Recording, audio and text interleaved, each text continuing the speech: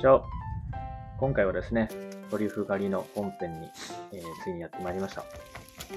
こういう動画は見る機会があまり少ないと思うので、ぜひ皆さん見てみてください。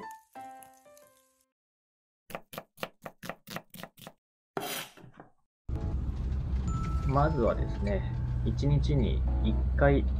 朝か夕方か夜中にトリュフを取りに行くんですが、まあ、車でですね、10分ぐらい行って山に入って、で、一通り回ったらまた次の山にっていう風な感じで車で回っております。で、ジャンゴ。この子はジャンゴっていう名前で優秀でトリフを見つけてきてます。すげえ急すぎるでしょ、これは。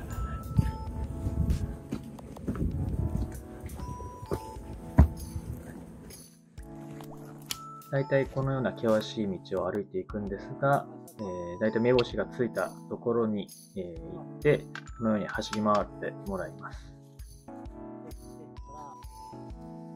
で結構ですね、こういうトゲがある枝のものが多いので、傷ついていいような上着だったりとか、とても丈夫な上着を着てないと、怪我したりとかしてしまって危ないですね。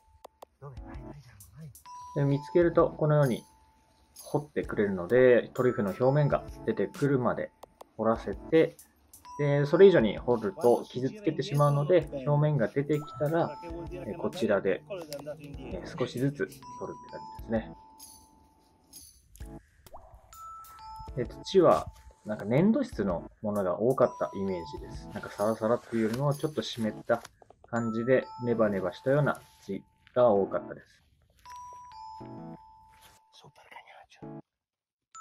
で、こういう風に表面が出てくるので、指と、まあ、ナイフのようなものを使って取り出します。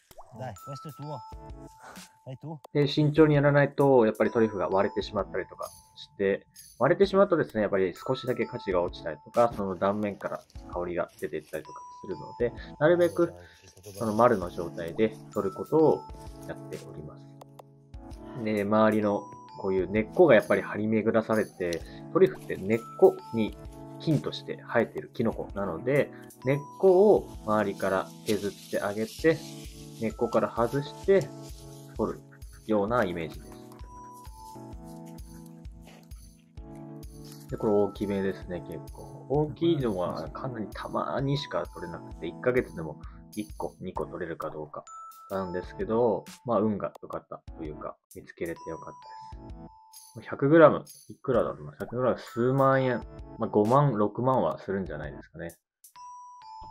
日本も輸入してるんですけども、まあ、時期によっては値段が変わったりとかするので、まあ、あんまりイタリアと日本のトリュフの値段っていうのは、イタリアの方が少しは安いのかな、空輸分がないので。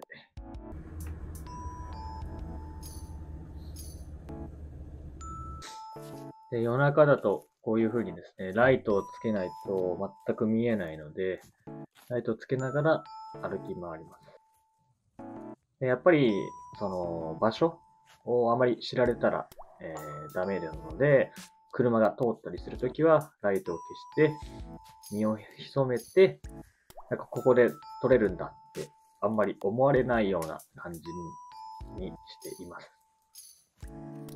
やっぱり山の中なのでこういった小動物もいます。これ今待ってるのは、見つけたらチーズ渡すんですけども、疲れた時に近寄ってきて止まってチーズよこせのような合図が結構ありますね。Eh, eh. で匂いが強かったり、なんか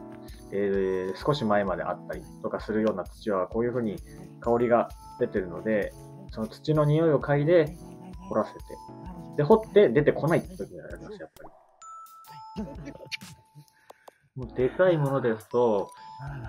まあ、表面だけ見ても大きさがわかるので、そうなるととてもシェフがですね、喜びながら掘り出しているのが、えーとても面白か。Oh, oh, oh, oh, oh,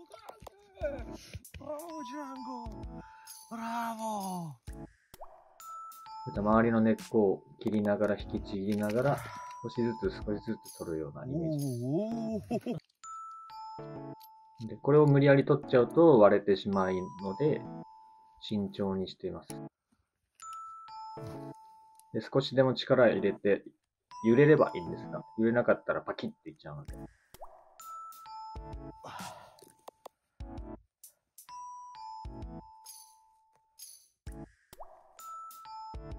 こんな感じで少し揺らして取れそうだな、取れるかなっていうようなイメージ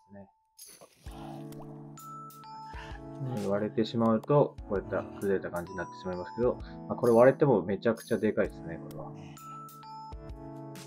このように車が通った時は、今、ライトを消している状態です。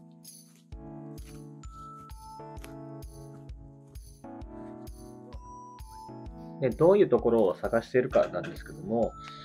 おそらく僕が、え見た感じだと3種類ぐらい木があって、その木の下あたりをまず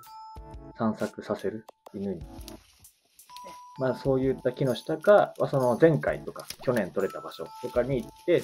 散策させて、で、匂いがやっぱり出てきたらですね、えー犬も、え反応するので、反応した瞬間にそこに近寄ってくっていうイメージですね。えー朝だったら朝の4時半起きの5時出発。で、えーそのランチもやってるので、10時とかに店に帰ってきてランチ営業したりとか、朝行かなかったら昼の営業終わり、夜の営業終わりに行ったりとかして、1日のどこかで来てましたね。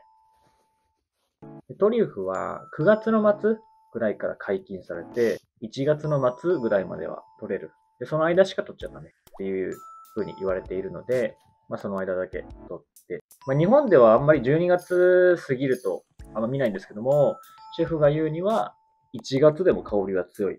て、えー言われますね。